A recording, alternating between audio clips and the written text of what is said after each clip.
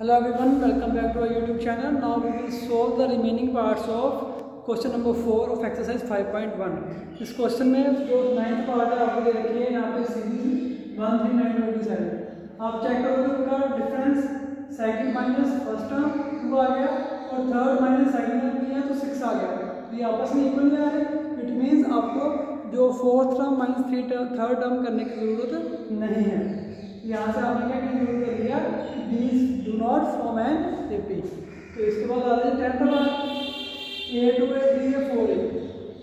a आप इनका निकालोगे a second term minus first term third term minus second term fourth term minus third term you will get a and every time तो इसका आप ये A P बन जाएगी। अगर ए पी बन गई है तो इसकी फिफ्थ टर्म सिक्स टर्म और सेवन्थ टर्म निकालनी है। फोर्थ टर्म में डी प्लस करोगे फोर्थ टर्म में डी प्लस किया फिफ्थ टर्म आ फिफ्थ टर्म में डी प्लस किया six term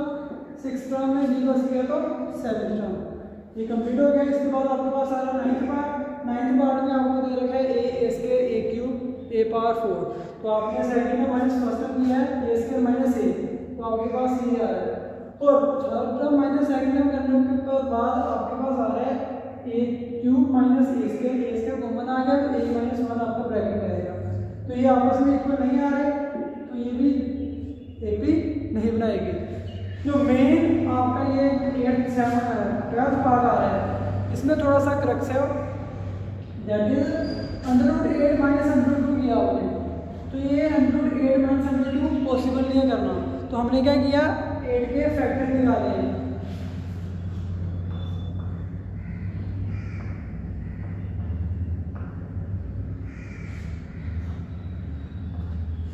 it means eight को आप कैसे लिख सकते हो two cross two cross two अगर इस तरफ़ पे अंडर आता है इस तरफ़ पे अंडर आता है तो अंडर रूट एट इसके इक्वल आ गया इंटरफेयर बन गया, ये बाहर आ गया टू अंडर रूट टू तो हमने अंडर रूट एट को रिप्लेस कर दिया टू अंडर रूट टू के साथ उसको सॉल्व कर दिया। ऐसे ही आप एटीन की फैक्टराइजेशन निकाल सकते हो थर्टी टू की निकाल सकते हो तो यही आएगी तो उनको माइनस करने के बाद आपके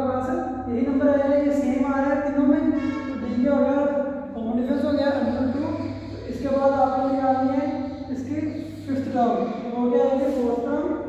जो आपके अंडर थर्टी टू को ऐसे लिख सकते हो। उसमें बस किया डी फाइव हंड्रेड टू आ गया। तो फाइव हंड्रेड टू है तो आपको उसको लेके आना जैसे आपके पास पुराना है आपका,